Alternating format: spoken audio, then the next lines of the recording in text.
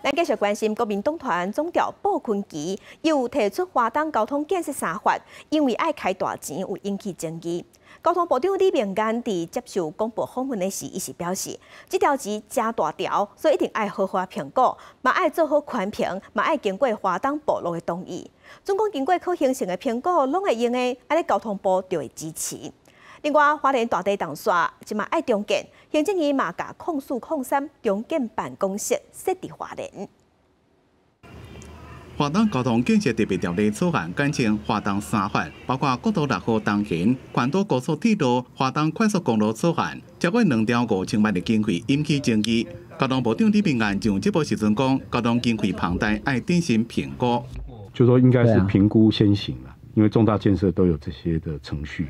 那如果纯粹用特别条例要省掉这些评估的程序，我是觉得呃并不妥。李明安强调，目前苏花安华东块环岛高速铁路的效益评估，不如咨询同意款款评拢也未通过。交通建设应该交通部先评估，加上立法院审议，临时立法院便特别预算来执行。特别条例并不能排除，呃，这些计划还要经过环评的审核审查。也就是说，呃，万一特别条例过了。啊，呃，规定政府要执行，结果环评是否决的。哦。另外，为了要互保控诉控三大地当发联的面交，行政院甲发联正在重建办公室设置的行政院党部办公室，刚一个参考处理违诺加多金的案件，甲管府的案件分开。啊，例如说，因为有一些已经拆除了，那花莲县政府也协助把它划为训行都根地区。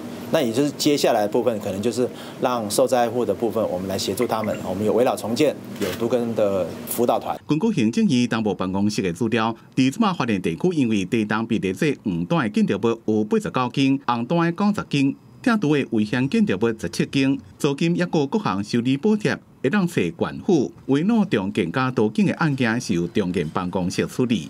记者综合报道。